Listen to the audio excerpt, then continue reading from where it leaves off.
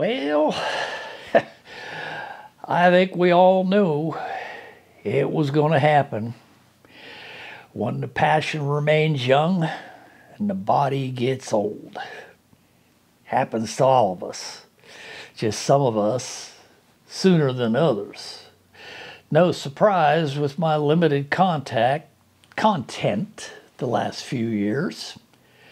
Medical issues as they are and being a solo hiker, it's best that I remain close to home instead of being a burden for search and rescue.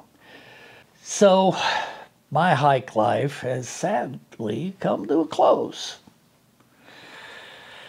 I had a good run, about 60 years wandering the outdoors and loved it all.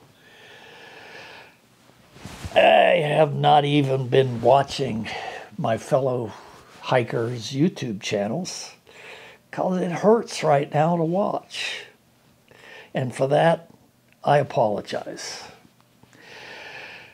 I'm going to keep my channel open and up and try to come up with some local news, gear reviews, or something I can do from home that will still be of interest to you all.